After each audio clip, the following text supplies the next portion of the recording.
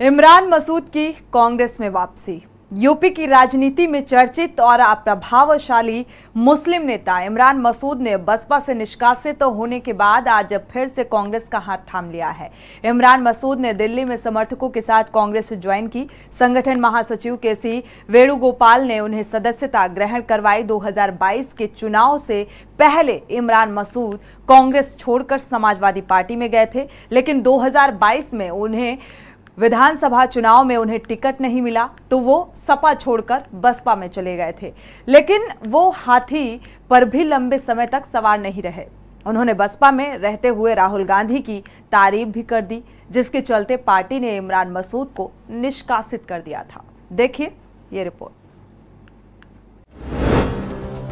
इमरान मसूद ने पकड़ा हाथ का साथ। कांग्रेस, सपा, बसपा अब फिर से कांग्रेस में। इमरान मसूद उन्नीस सौ सतासी में राजनीति में आए। 2001 में चुनाव नगर पालिका सहारनपुर में चेयरमैन के पद पर लड़े। लेकिन हार का सामना करना पड़ा। 2006 में नगर पालिका के चेयरमैन बने। मुजफ्फराबाद सीट से 2007 में निर्दलीय विधायक रहे। इमरान 2013 में कांग्रेस में शामिल हुए। विधानसभा चुनाव 2022 से पहले जनवरी में कांग्रेस छोड़ दिया। इसके बाद समाजवादी पार्टी का दामन थाम लिया। इमरान को सपा का टिकट नहीं मिला। इमरान ने सपा को अलविदा कहकर बसपा में एंट्री मारी। हाल ही में इमरान ने राहुल गांधी की तारीफ़ कर दी थी। इसके बाद उन्हें बसपा से निष्कासित कर दिया गया। इमरान मसूद की कांग्रेस में एंट्री के बाद लोकसभा चुनाव का समीकरण भी बदल सकता है। इमरान मसूद की मुस्लिम समाज के वोटरों में काफ़ी अच्छी पकड़ है। कांग्रेस पहले से ही इंडिया गठबंधन में शामिल है। यदि इमरान को लोकसभा चुनाव का टिकट मिलता है तो वह मुस्लिम वोटरों को साधने में कामयाब हो सकते हैं। इमरान मसूद पहले भी तीन बार सहारनपुर लोकसभा सीट से चुनाव लड़ चुके हैं। हालाँकि उन्हें जीत नहीं मिल सकी थी, लेकिन हर बार चुनाव हिंदू मुस्लिम हुआ। ऐसे में भाजपा और गठबंधन के बीच कांटे की टक्कर हो सकती है, जिसमें जीत हार का अंतर बेहद कम रह सकता है। यूपी के दिग्गज मुस्लिम नेता इमरान मसूद की सियासी राह एक बार फिर चर्चा में है। उनका राजनीतिक करियर काफ़ी दिलचस्प रहा है। राजनीति में धाक रखने वाले परिवार में जन्मे इमरान 2006 में सहारनपुर नगर पालिका के चेयरमैन बने थे। वह 2007 में सपा से टिकट मांगा। टिकट ना मिला तो निर्दलीय चुनाव लड़कर जीते। बता दें कि 2012 में कांग्रेस में इमरान शामिल हुए थे, लेकिन यहाँ भी लंबे समय तक नहीं टिके। लेकिन इसके बाद वह किसी एक पार्टी में नहीं ठहरे। अपने मन की बात खुलकर कहने वाले इमरान मसूद का जन्म सहारनपुर के गंगो में हुआ था। इमरान का परिवार इलाके में काफ़ी प्रभावशाली था। इमरान मसूद के दादा काजी मसूद का इलाके में रसूख था। इमरान के चाचा रशीद मसूद केंद्र की राजनीति में भी काफ़ी सक्रिय थे। वह केंद्रीय मंत्री भी रहे। उन्नीस सौ इकहत्तर में इमरान मसूद का जन्म हुआ। तब उनके चाचा रशीद मसूद अलीगढ़ मुस्लिम यूनिवर्सिटी में पढ़ाई करके राजनीति में उतर चुके थे। इमरान जिस परिवार से ताल्लुक रखते हैं उस, उसकी सियासत में धाक थी। इसके चलते इमरान ने बचपन से ही राजनीति का कखारा सीख लिया। इमरान मसूद ने सिर्फ़ बारहवीं कक्षा तक पढ़ाई की। लेकिन कम उम्र में ही वह पॉलिटिक्स में एक्टिव हो गए। इमरान ने अपने चाचा के नक्शे कदम पर चलते हुए राजनीति में आने का फैसला किया। इमरान 2006 में सहारनपुर नगर पालिका के चेयरमैन बने। इसके बाद 2007 के विधानसभा चुनाव में इमरान मसूद ने समाजवादी पार्टी से टिकट मांगा, लेकिन उन्हें टिकट नहीं दिया गया। इस चुनाव में समाजवादी पार्टी के संस्थापक मुलायम सिंह की सरकार थी।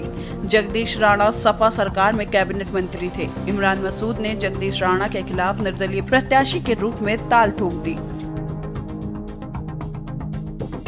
इमरान ने निर्दलीय प्रत्याशी के रूप में सपा के जगदीश राणा को चुनाव हरा दिया और विधायक बन गए। इसके बाद उत्तर प्रदेश में बसपा की सरकार बनी। मायावती की पाँच साल की सरकार के दौरान इमरान निर्दलीय विधायक रहे। फिर 2012 विधानसभा चुनाव से पहले काजी रशीद मसूद और इमरान मसूद की टिकट बंटवारे को लेकर सपा हाईकमान से ठन गई। लिहाज उन्हें पार्टी को छोड़ दिया और पूरे परिवार ने 2012 के विधानसभा चुनाव से ठीक पहले कांग्रेस ज्वाइन कर ली। आज के इस हालात में, जिस हालात में हमने कांग्रेस को ज्वाइन करने का काम किया, चूँकि राहुल जी की यात्रा के बाद पूरे देश में एक माहौल बना और मैंने दूसरी पार्टी में रहते हुए भी इस बात को कहा था कि राहुल जी परिवर्तन के वाहक हैं और देश की राजनीति के अंदर परिवर्तन लाने का काम करेंगे। और वो असर उसका हिमाचल के और कर्नाटक के चुनाव में दिखाई दिया। जब प्रियंका जी ने जाकर के प्रचार किया और प्रचंड बहुमत के साथ दोनों स्टेट में सरकार आई और अब चार स्टेट में इंशाल्लाह और आने जा रही है। अभी राजीव भाई ने मुझसे सुबह ही पूछा था तो मैंने ये बात बताई थी कि मैंने कार्यकर्ता जितने लोग हैं, मेरी ताकत हैं, इनके वजह से ही मैं पार्टी छोड़कर गया था। और मैंने मीटिंग बुला करके अपने सब लोगों को आठ दस हज़ार आदमी था, सहारनपुर में पूछा था कि आप लोगों ने मेरा जो पेंडुलम बना दिया, अब बताओ मैं क्या करूँ? अब आप कह रहे हो कि मैं कांग्रेस में चला जाऊँ। लेकिन मैं चला तो जाऊँगा, लेकिन एक वादा आपसे लेना चाहता हूँ कि अब मेरे साथ कोई आप जुल्म ना करना चूँकि अब मैं मानूँगा नहीं, और ये तय है कि अगर अब कांग्रेस में जाऊँगा तो फिर कब्र तक कांग्रेस के अंदर रहूँगा। आपको बता दें, कांग्रेस के टिकट पर उन्होंने 2012 का नकुड़ विधानसभा से चुनाव लड़ा। हालाँकि इस चुनाव में वे जीत का स्वाद नहीं चख पाए। समय बीता और इमरान का मन बदल गया। उन्होंने एक बार फिर से राजनीतिक करवट ली और 2014 में वह सपा में शामिल हो गए। इमरान को सपा ने सहारनपुर लोकसभा सीट से टिकट दे दिया, लेकिन चाचा ने उनका टिकट कटवा कर अपने बेटे शाहजान को दिला दिया। परिवार में तलवारें खिंच गई। इमरान मसूद ने कांग्रेस से टिकट ले लिया। एक तरफ़ मोदी लहर थी, दूसरी तरफ़ परिवार आमने सामने आ गया। इसी चुनाव के दौरान मोदी के खिलाफ दिया गया इमरान मसूद का विवादित बयान भी चर्चा में आया। बहरहाल इमरान राष्ट्रीय मीडिया का केंद्र बन गए।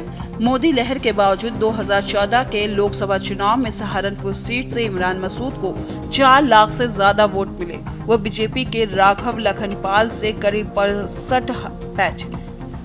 वो बीजेपी के राघव लखनपाल से करीब पैंसठ हज़ार वोटों से हार गए थे। दरअसल चुनाव हार कर भी इमरान खुद को एक मज़बूत नेता के रूप में स्थापित कर चुके थे। स्पेशल डेस्क के न्यूज़ इंडिया